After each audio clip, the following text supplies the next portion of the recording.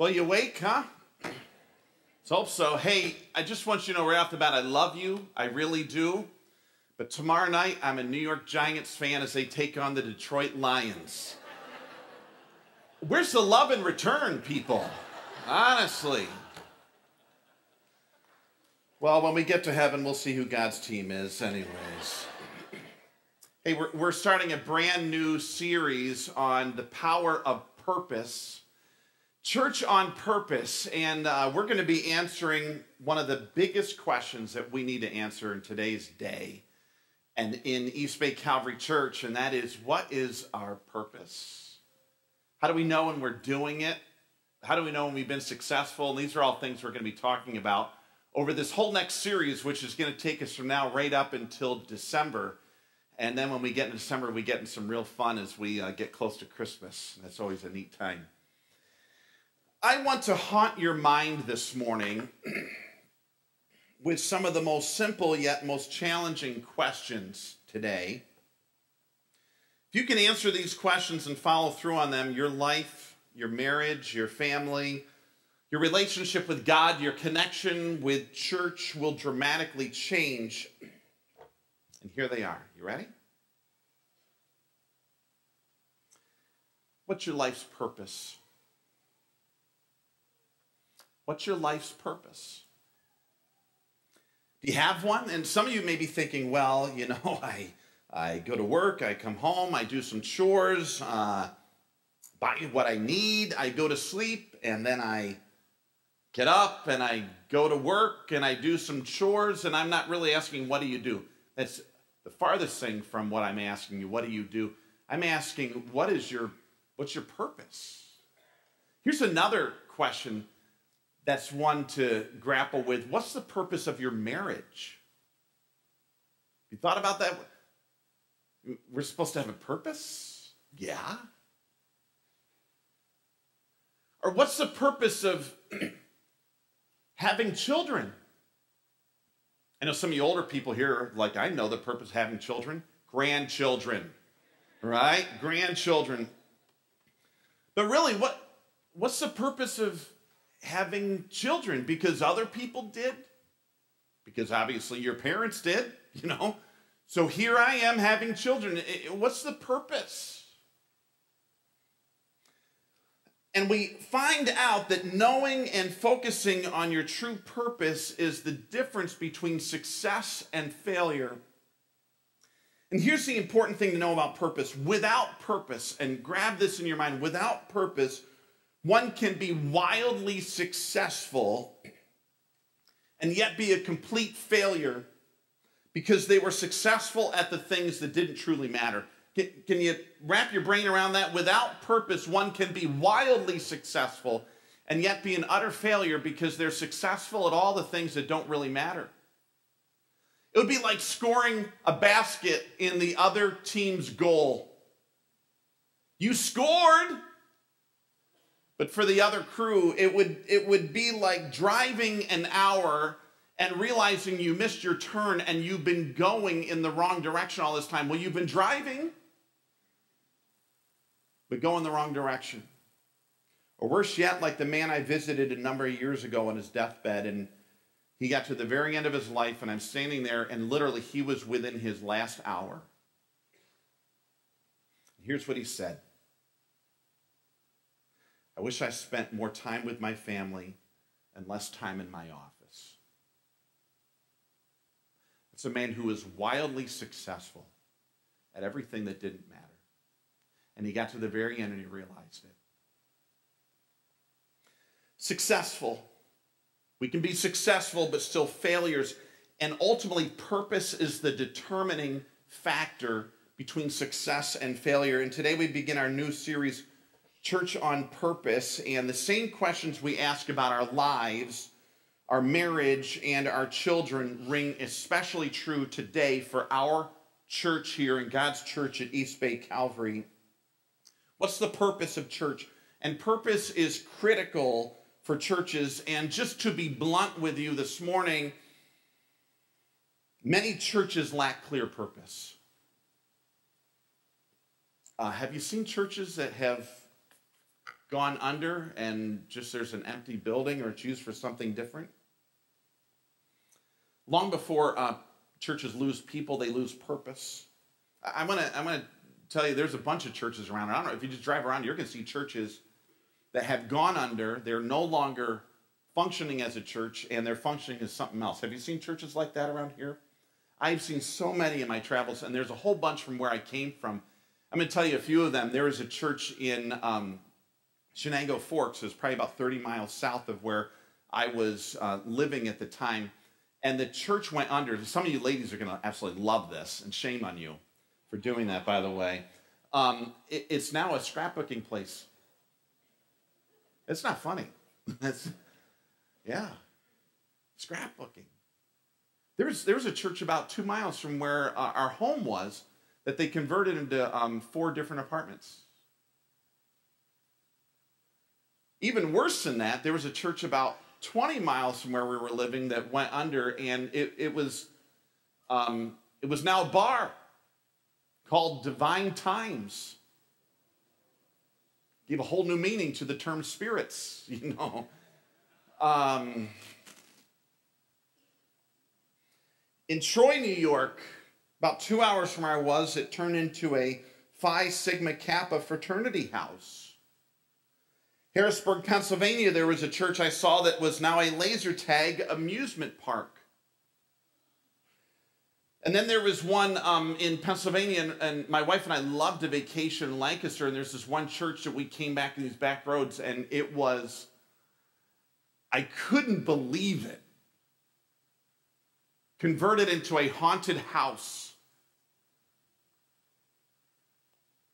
And I got thinking if the organ is still in there, I, I was scared to death sometimes when I would walk out of my church before with an organ. I'd be working late at night, like 10:30, and I'm thinking, if that organ starts playing, I am flying out of here, you know? Shalersville, Ohio is an old Baptist church that was turned into South River Vineyard, a winery. If you visit them, they ask only one thing of you. Please don't ask if their production process involves turning water into wine. They say that one's getting really old. And here's the worst one of all Atlanta, Georgia, the empty Collins Spring Baptist Church in Atlanta needed someone to save it from the vandals and the wrecking ball, and in stepped the Atlanta Free Thought Society, an organization of atheists that uses the building as a part of its mission to provide a community for non theists in the metro Atlanta area through educational advocacy and social activities. A church now, a church for atheists. And long before churches lose their people, churches lose their purpose. There was a Congregationalist church, I'm sorry, University Christian Church in 1963. They, they went under, and on the door of their church, they said, Gone out of business, didn't know what our business was.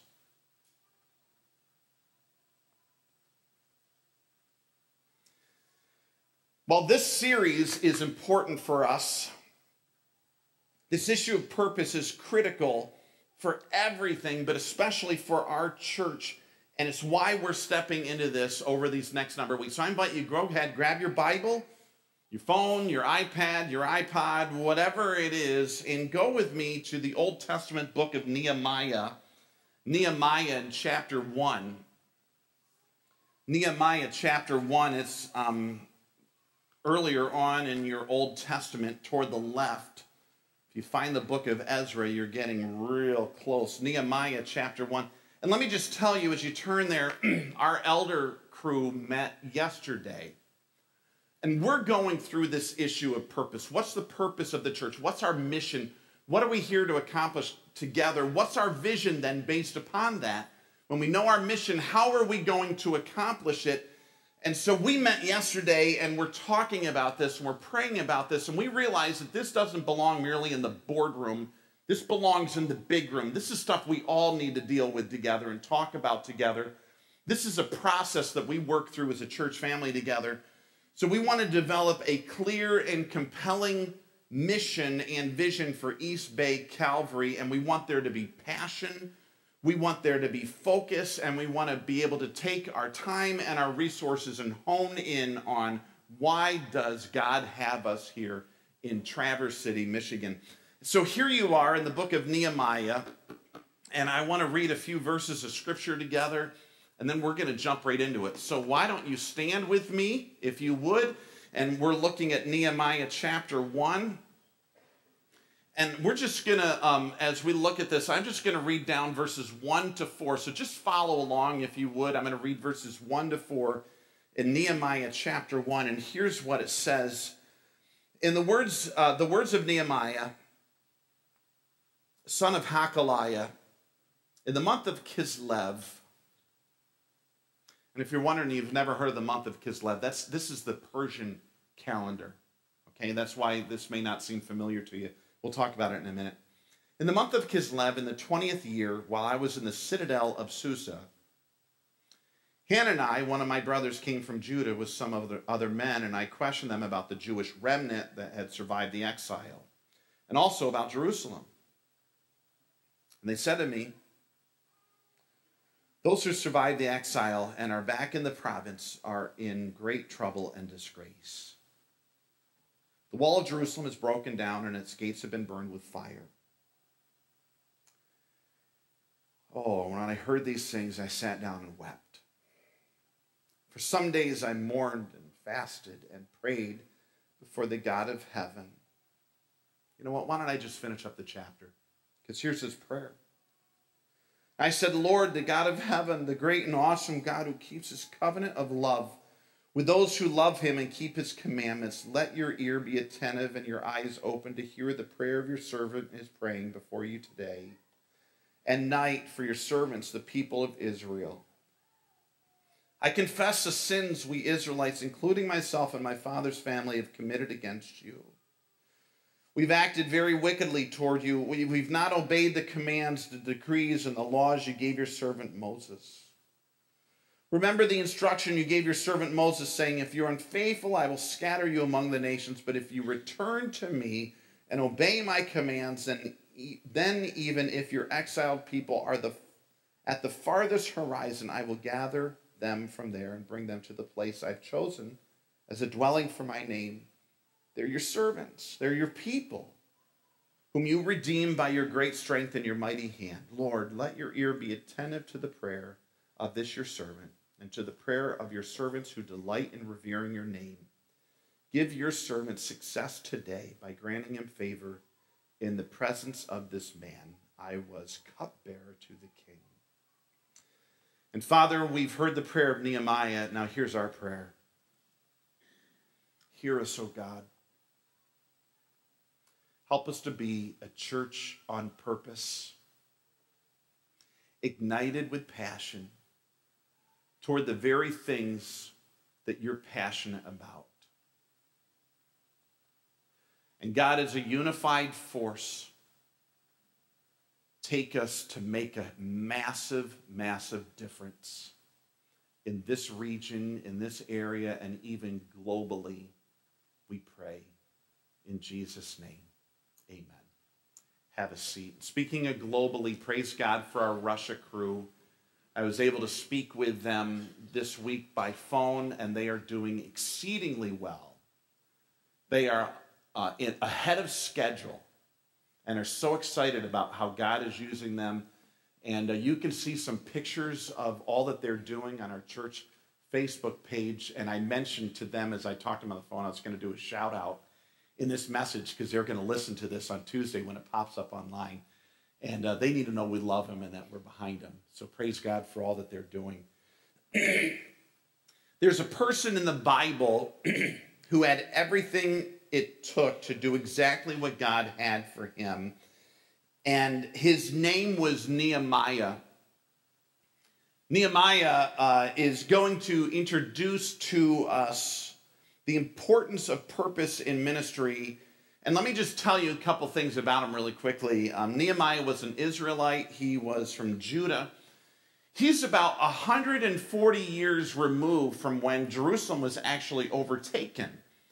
And uh, Jerusalem was overtaken by a familiar king, Nebuchadnezzar. if that name sounds familiar to you. And when Nebuchadnezzar went in there, he not only just ransacked all of Jerusalem, he pulverized the walls that were there to protect it. He took the people captive, and many of them became his servants, four of which may be names that are familiar to you Daniel. Then there were three guys that went in a fiery furnace Shadrach, Meshach, and uh, some of you remember Abednego. Yeah. And so that was all under the reign of Nebuchadnezzar. This is about 140 years before Nehemiah steps on the scene. And so here's Nehemiah, still in this region, but now Persia is the governing country at this specific time. Jerusalem is no better off now than what they were 140 years ago. Their walls are depleted, they're down. and so Nehemiah ends up being a cupbearer for the king. But he knew this isn't why God has me here. I'm not here to be a cupbearer for the rest of my life.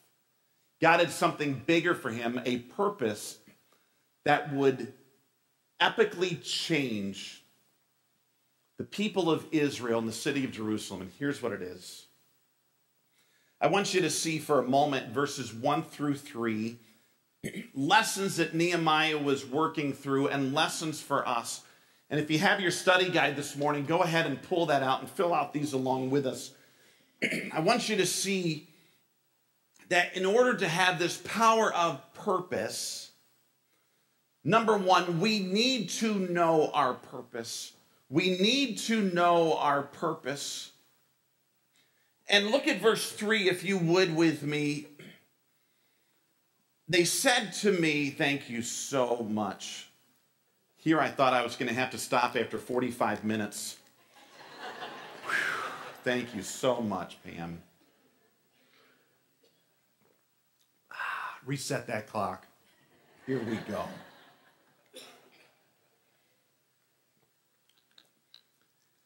We need to know our purpose. We need to know our purpose. Verse 3. Here's where Nehemiah came face to face with his purpose. They said to me, Those who survived the exile and are back in the province are in great trouble and disgrace. The wall of Jerusalem is broken down and its gates have been burned with fire. And verse 4 when I heard these things, I sat down I wept.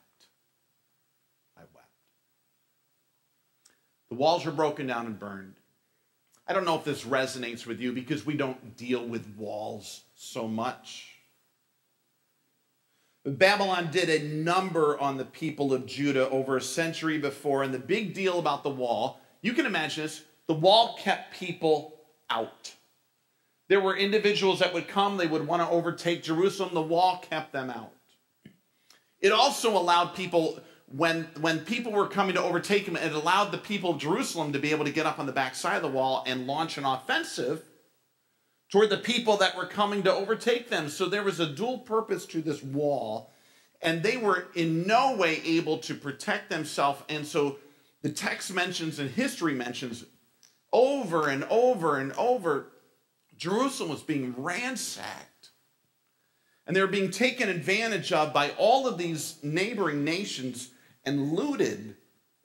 And there was nothing that they could do to overcome this. And so he mentions this word comes back and they're saying they are in great trouble and disgrace. It's not only that they're being looted, they're, God's city is being made a mockery of.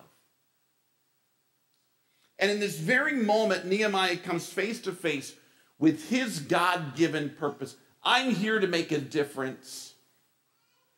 His purpose was clear, it was compelling, as we're going to see in a moment. It was even different from his daily occupation. I'm here to make a difference. And Nehemiah, his purpose was I'm going to go back to Jerusalem and I want to help rebuild this wall so that my people can be safe, so they're no longer drugged through disgrace. So I stop for a moment and I ask you, what's our purpose? Just think about it in your mind. What's our purpose at East Bay Calvary Church? I'm not asking what do we do. So I know what our purpose is. We come together on Sunday morning, we sing. What's our purpose? Why do we do what we do? Here's an older guy. His name is uh, John Gardner. He founded what he calls um, Common Cause, and, and he talks about an older man who asked this question of just about every new acquaintance he fell in conversation with. Here's what he'd ask him. He'd say, What have you done that you believe in? That was his question, people. Hey, what have you done that you believe in? It was an unsettling question because people build their self esteem around what they do or the wealth that they have or their job title. And, and not that the old guy was a fierce interrogator, but he said he actually said, I don't even care how they answer me.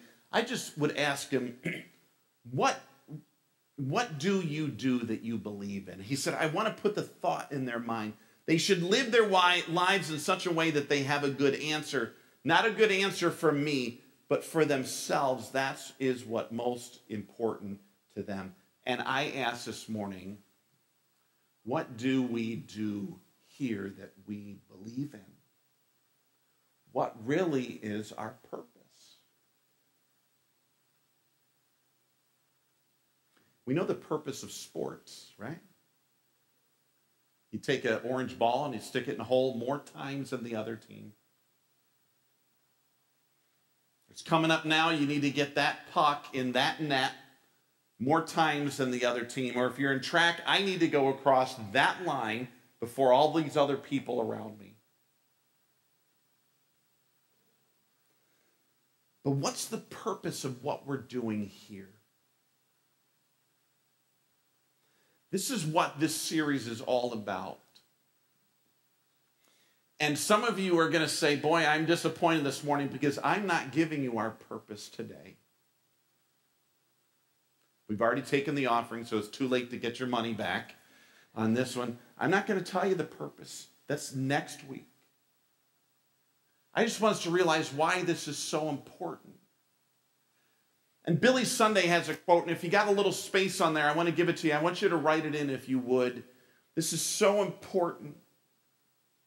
Billy Sunday was a famous baseball player, also evangelist, and here's what he said.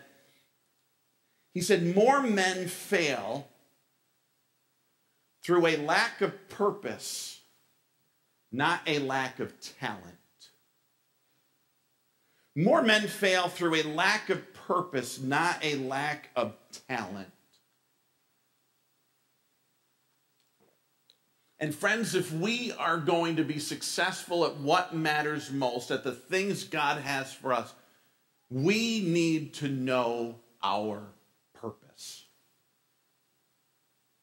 If you want to know what that is, next week, gang, same time, same place, same station, we're going to jump right into it, right in the deep end.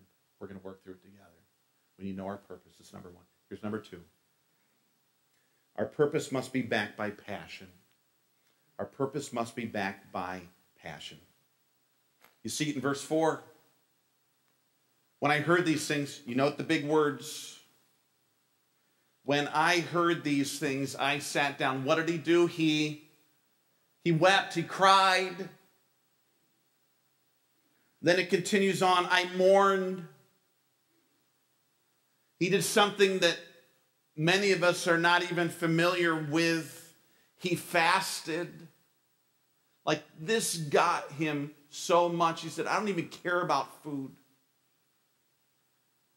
I don't care about my daily needs. I care about what's going on back home. I care about those walls. I care about my people. And so his purpose was backed with passion. And and get a grip on it. Here's the reality this is 140 years had passed since the walls been down. A lot of people were like, hey, that's the way it is. The walls are down. There's nothing we can do about it. We don't have the money. We don't have the resources. I don't have an army of people that can build them. Just forget about it and accept it and go on. And Nehemiah said, I am not accepting it. This is unacceptable. And there was this intense passion that was welling up inside of him. And it brings us to this reality that contentment with the status quo kills purpose. Contentment with the status quo kills purpose. As long as we're content with the status quo, we will never discover advancement. If you're content, well, you know, I know my marriage stinks, but hey, it's better than most people, so I'll just leave it as is. You'll never advance. I know things aren't great here, but they're good, so we'll never advance. I know my kids, it's not really going well, but they're not the worst of the worst. And contentment kills advancement, it kills progress, and it kills purpose, but passion fuels purpose. If we don't care, we don't do. If we do care, we do. I'm going to give you a good illustration of that. When I was in school, I went to this tiny, tiny, tiny Christian school. I was in a class of four folks, and I was valedictorian.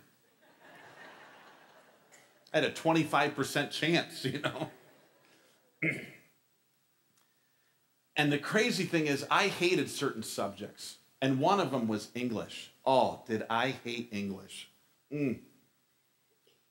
If I would, I would have taken it as a second language, you know. It was terrible. And and, and I used to think, what's the big deal about sentence diagramming and writing skill and public speaking? It's not like I'm going to be writing stuff every week and standing up in front of people and speaking. Well, here I came to 12th grade, and we were in this education curriculum. It was basically self study, and I would go through these paces. And it was self study, and you go up and you, you know, actually check your own work, and then a supervisor would check it. Well, I had delayed English so much because I'd much rather do everything else. My senior year, I had two years of English to do. Two years. And I remember the specific day where I was standing and every bit of it when my supervisor pulled me aside and said, Brian, I just want you to realize I don't think you're going to graduate this year. You've got two years of English to do in one year because I don't think you're going to do it. Now, let me tell you, I didn't care about English. I did care about graduating. I all of a sudden was infused with passion. And let me tell you this no joke. I finished every last bit of my English work six weeks before school ended. I had nothing else to do.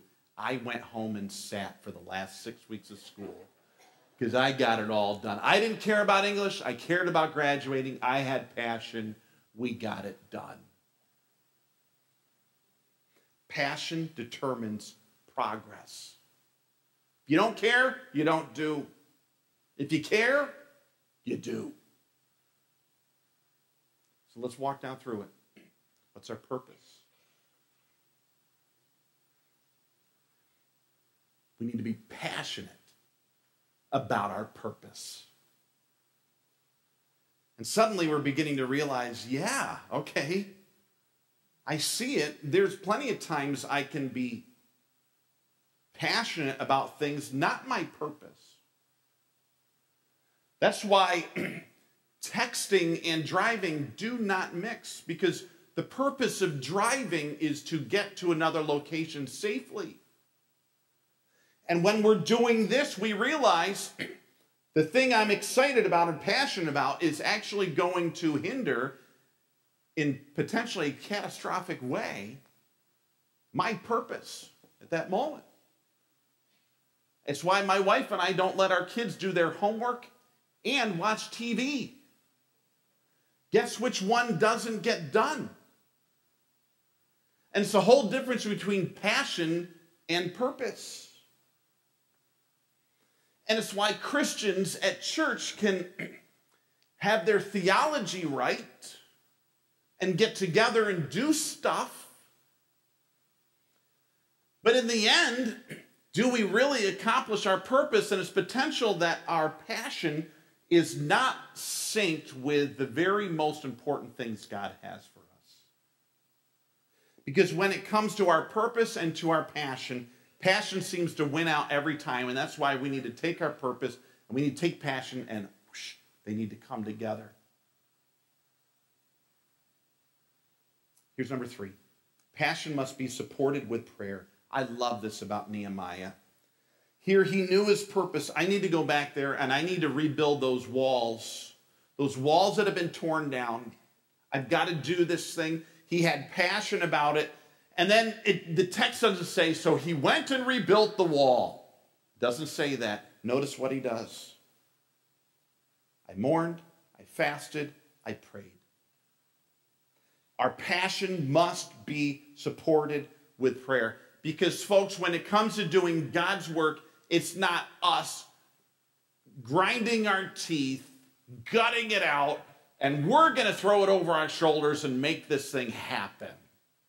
This is a divine cooperative where we link arms with God and He utilizes us in His purpose to accomplish the things that He genuinely cares about. And so here we see in Nehemiah, he fasted for several days, he prayed for several months. And he bathed his vision in prayer from start to finish because he knew that purpose isn't enough by itself, passion isn't enough by itself. We need God, we need his presence, we need his power, we need everything that he is to be in all that we do if this thing is ever, ever going to accomplish anything for his glory. And so he cranked it out and was totally dependent upon God to make his purpose happen and his passion fruitful. And I want I want you to see a couple things. When he prayed, he was he was these things. These are right there in your sheet. When he prayed, he was patient. Now, here's where we're going to find out about these months, these Persian calendar months. You notice there in chapter 1, verse 1, it says, In the month of Kislev. Notice chapter 2, verse 1. In the month of Nisan, that's not a vehicle brand from a while back. This, these are Persian months, and, and I want you to realize Kislev is the Persian name for December, and Nisan is the Persian month of April. So nearly five months went by when Nehemiah had this purpose fused in him and he was passionate about it. He prayed. Notice nothing got done. But he went to God and he prayed and he prayed for five months. God, I need this. I need this. Your people need this. This is your city of Jerusalem that needs to be turned around. And he did not tire in doing this in praying and going before the Lord. It tells us a good lesson for us. How many times have you had a purpose, you know what needs to be done, and man, we need to pray about this, and you pray for a day. Then you forget. Or you're in it for a while, but two months down the road, you're like, man, this is just taking too long. And Nehemiah was not weary. He did not tire in doing what was right. He was patient. He realized that our purpose and our passion needs to be linked with God's timing, and he put it all before God. And I know that we hate waiting. And when we link arms with our purpose and our passion and we entreat God, realize it's not always a get rich quick scheme. Church growth does not always occur overnight. And in fact, we are responsible for doing the things God wants us to do and sowing and watering. He's the one that brings the increase. But we be patient. Then here's the last one I want to give you. And I love this. When he prayed, he was patient, but this is cool. He asked for the moon. Check this out. I want you to see the story. Remember, he was a cupbearer. Look at chapter 2, verse 1. I just want to read it for you. It says, In the month of Nisan, So now we're in April, in the 20th year of King Artaxerxes. Remember, he was a cupbearer. When the wine was brought for him, I took the wine and gave it to the king. I had not been sad in his presence before. So the king asked me, Why does your face look so sad when you're not ill? This can be nothing but sadness of heart. I was very much afraid, but I, I said to the king, May the king live forever. Why should my face not look sad when the city where my ancestors are buried lies in ruins and its gates have been destroyed by fire? The king said to me, What is it you want? Ah, here we go. Before he opened his mouth with what was going to be requested, notice I love this. He asked me, What is it you want? And he says, Then I prayed to the God of heaven. Okay, King, just one moment. God help me. Here we go, man. And notice the list. If it pleases the king, and if your servant has found favor in his sight, let him send me to the city of Judah, where my ancestors are buried, so I can rebuild it. Then the king, with the queen sitting beside him, asked me, How long will your journey take, and when will you get back? It pleased the king to send me, so I set a time, and it was years, gang, years. And then I said to him, And if it pleases the king, may I have letters to the governors of Trans Euphrates so that they will provide me safe travel until I arrive in Judah? I want you to get me there safe. And then may I have a letter to Asaph, keeper of the royal park, so he will give me timber to make me beams for the gates of the citadel by the temple and for the city wall and for the residence I will occupy. And because of the gracious hand of my God was on me, notice that the gracious hand of my God was on me, the king granted my requests. He said, King, I need time off. It could be years. I need you to get me there safely. I want you to fund the project. And then I'll come back. And he says, and by the gracious hand of God, boom. Now you try this. Walk into work tomorrow morning.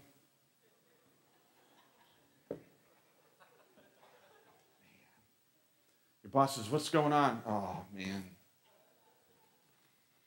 My church really needs to grow. Really? How can I help? Just one moment. I need a couple years off. Car. We may do an addition. I'd like you to fund it because God's work has to go forward. Sure. Now, you better be here if it actually happens. If we see you out in the water, oh, you're going to be in trouble. You know.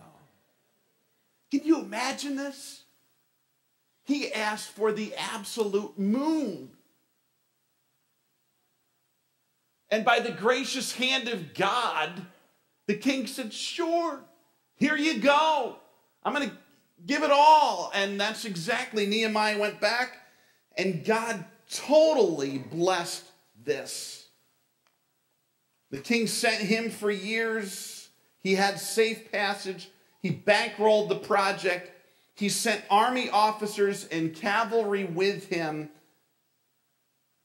And they kicked this thing out by God's grace and for his glory. Because when our purposes line up with God, and put this in your heart, when our purposes line up with God, just imagine what he'll do, folks.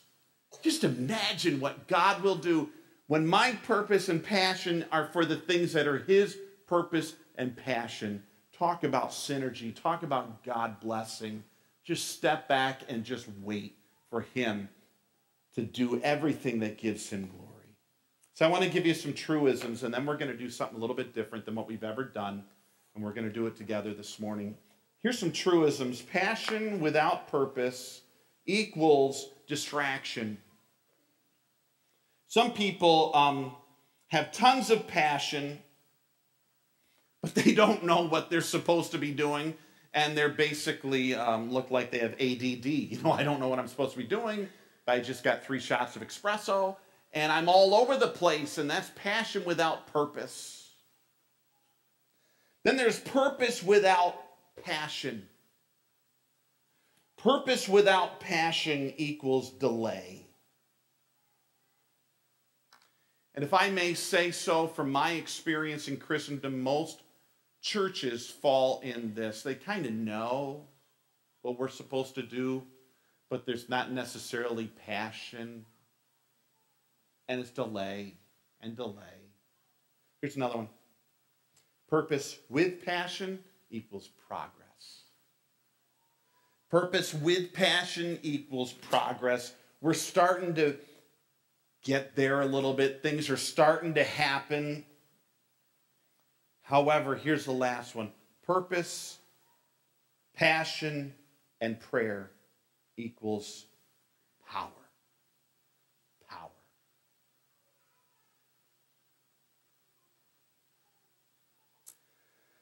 So you may ask, why are we doing this series? Here's our basic objectives. Number one, we need to know our purpose and we've all got to be together on it. Why do we exist as a church? Why are we here? Why do I put money in this plate?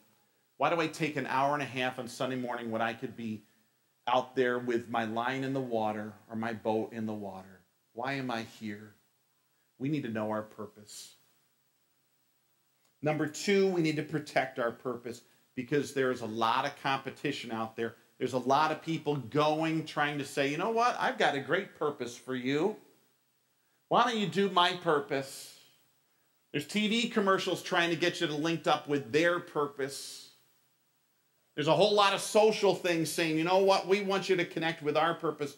There are plenty of pseudo purposes out there for us all, and we need to know our purpose. We need to protect it.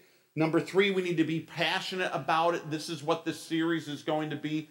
We need to realize that God has called us to the most incredible the most exhilarating, the most rewarding and fulfilling purpose ever known to mankind. God didn't call you to just drudgery, God called you to something that you will not, not find a better purpose for ever anywhere. And be passionate about it. And then, number four, we need to link arms to pray about it because we can't do it. God needs to be in it all the way. So let's do a little survey together. Um, your sheet here that you have, on the bottom of the connection um, portion here, you filled out the one side with your name and whatever. Um, on the back, I really want to get a sense from you about what's what you think are significant challenges for people and churches struggling with purpose. I'm going to tell you the um, results next week when we get together. But here on the survey, um, I want you to give numbers one to five. One, this is the thing I think is the most important challenge for why churches or people struggle with purpose. That's the number one. And then all the way down to the least important being number five. So I want you to mark one, two, three, four, five in in these. I hope you're figuring out because I may not be given the best directions. So, for example, if you think that the number one reason why people struggle or churches struggle with purpose is we have passion for things other than our true purpose, mark that as number one. And if you think number we think small and don't imagine God can do what God can do in the purpose, if that's number two, mark that number two. Just one through five, what you think is the most significant and the least significant reason why people and churches struggle with purpose. I'm just going to give you a moment. Fill that out if you would. And when you're done with that, tear it off. And on your way out, we will be collecting those from you. And we want to really gain as much of your input on this And we will tell you the results next week of what you believe was significant about why people or churches struggle with purpose and staying on purpose. And um, thank you for your thought and consideration with that. Just make sure you tear it off on the way out. We'll collect those and we'll get your results next week. I want to ask you, please stick with us through this series. Stick with us all the way through. There's nothing more critical that we could be talking about these next weeks than this. I really believe that with all of my heart in every way. Would you stand with me for a moment? I want us to think about being committed. Being committed to learning this together. Being committed to something that's bigger than us. And really being passionate about the very things that God's passionate about. Would you pray with me for just a moment? Father God, help us to be people of purpose not going through the motions or punching our clock, but knowing why we're here, being passionate about it, taking it with us into the world to accomplish your purpose all around us. We can't do it without you We pray that you would bless us in these endeavors. We pray this in Jesus' name.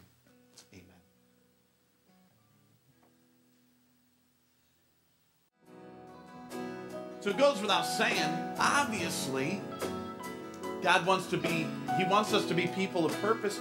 That's what Jesus was.